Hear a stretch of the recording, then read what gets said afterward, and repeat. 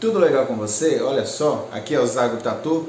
Vim nesse vídeo para te falar uma coisa. Você nunca vai ser um tatuador profissional se você não seguir essas cinco dicas muito importantes que eu vou te dar agora. Bom, a primeira dica é aquela de sempre, né? Você, se você quer ser um ótimo tatuador, você tem que saber tatuar com qualquer tipo de máquina que der na sua mão.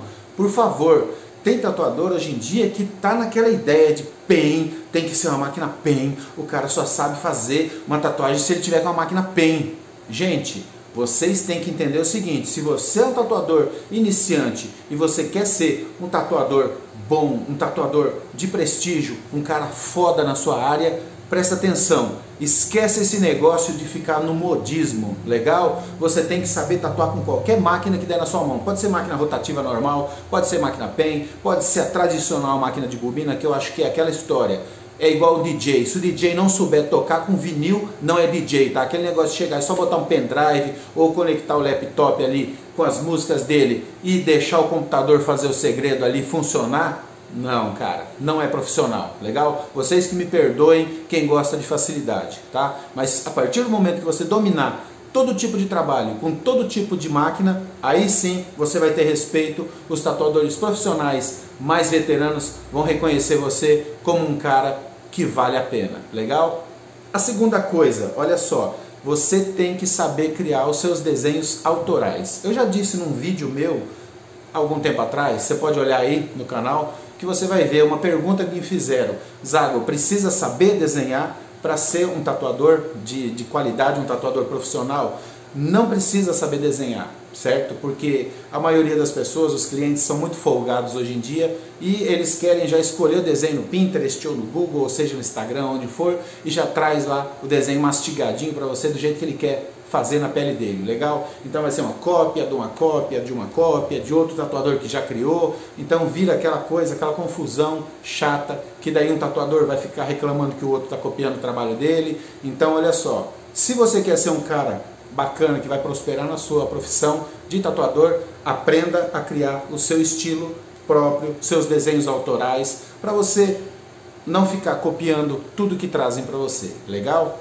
A terceira coisa, gente, acabei de falar agora, criar o seu estilo próprio. Você pode sim saber fazer outras tatuagens, você pode aceitar o que o teu cliente quer que você faça, mas é bacana você ter o seu estilo próprio para você seguir, entendeu? Se você gosta de neotradicional, crie o seu estilo próprio em cima desse estilo neotradicional. Se você gosta de realismo, se dedique, se profissionalize, mas não fique apenas seguindo o fluxo cria o seu estilo em cima do estilo que você gosta. Bacana? Isso é muito importante para você que quer crescer na sua profissão, quer ser reconhecido não só pelos clientes, mas pelos outros profissionais, nossos amigos aí da profissão de tatuador, entendeu? Então, se você quer ser um cara que vai ser algum dia lembrado como um tatuador de qualidade, aprenda a fazer o seu estilo próprio também para oferecer para o seu cliente com certeza vai ter muito mais valor do que você ficar simplesmente copiando as tatuagens que eles trazem para você.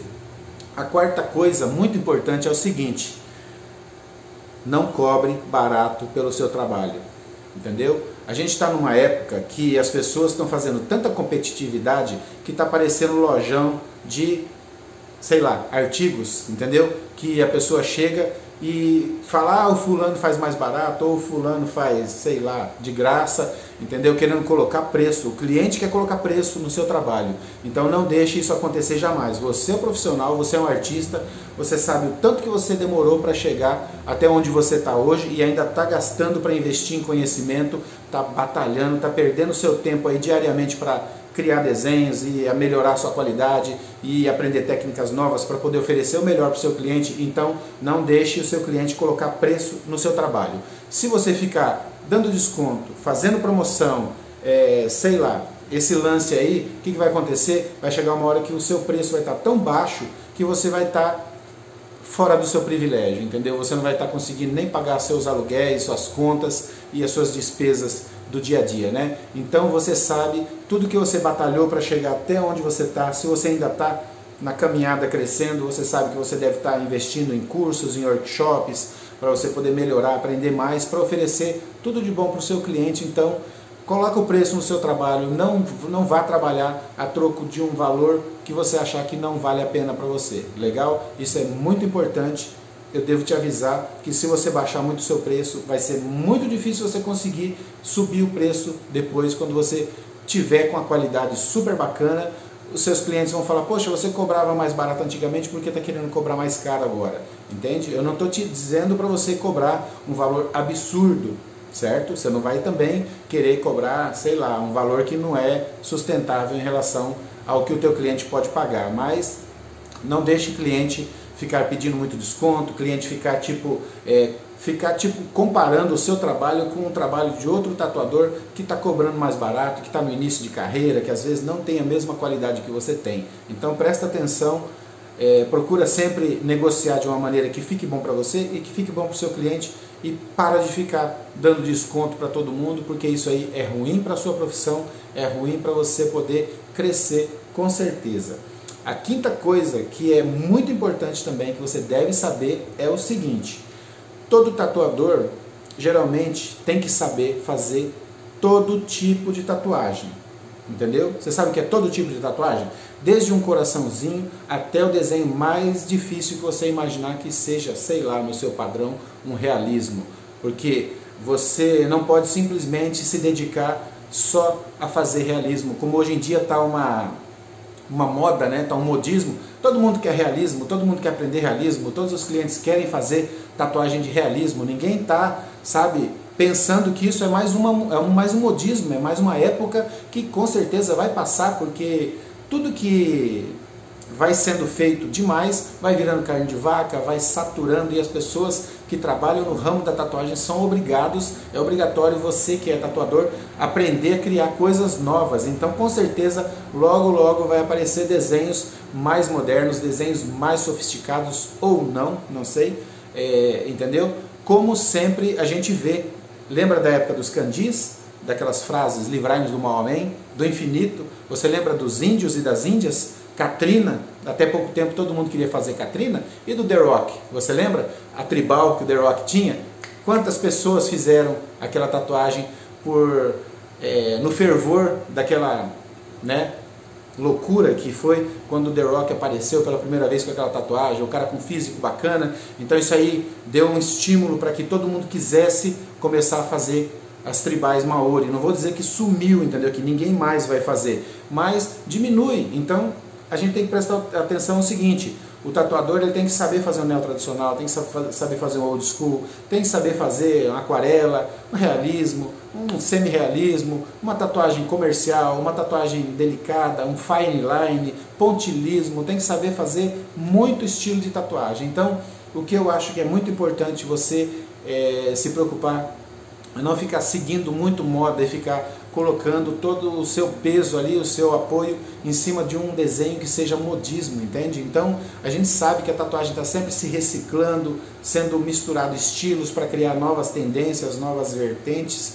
para que a gente possa ter novidades para entregar para os nossos clientes. Então é muito importante o tatuador que quer ser o cara foda, o cara que quer ser o tatuador reconhecido, profissional, ele tem que saber no mínimo fazer 15 ou 20 estilos de desenhos diferentes, de estilos de tatuagens diferentes, entendeu? Então, é aquilo que eu sempre falo, você quer ser melhor? Batalha, se preocupa em aprender e olha só, faça curso, assista vídeos, mas não fica o dia inteiro só assistindo vídeos no YouTube aleatórios, porque se você ainda não está com aquela capacidade de dominar o básico, que é um bom contorno, um bom sombreado, uma boa pintura, se, se você ainda tem dificuldade, é bom você fazer curso, tá? Clica no link abaixo aí, tem informações a respeito do meu curso, eu vou estar disposto a te ensinar passo a passo tudo que você precisa para você ser um tatuador melhor e chegar no patamar que você merece, sabendo fazer todo tipo de tatuagem. Você só vai se destacar a partir do momento que você investir na sua profissão, no seu sonho e você vai ser uma pessoa melhor, com certeza, ok? Então, fica essas dicas aí. Lembre-se, tatuagem hoje em dia não é só realismo. Muita gente está focando, né? Está focando e fechando é, o funil ali da vida dele só em realismo, está se dedicando só em realismo e não pode ser assim. Todo mundo sabe que você tem que ser um tatuador dinâmico para você ser um tatuador melhor, um artista de qualidade, ok? Se você gostou dessas dicas, desse nosso papo amigo aqui que eu tive com você para te alertar, para te deixar mais ligado né, na, no que tem de bacana aí para você aprender além do básico, né? Então, você se inscreve no meu canal, deixa aí o seu comentário, o que, que você acha? Você acha que vale a pena realmente você aprender a fazer um pouco de tudo? Ou você deve se, de, se dedicar a fazer apenas um estilo de tatuagem você acha que está bom para você? Por exemplo, se você se dedicar só a fazer neo tradicional, você fazer só suas criações autorais em cima desse estilo, ou se dedicar a fazer só fine line. O que, que você acha a respeito disso?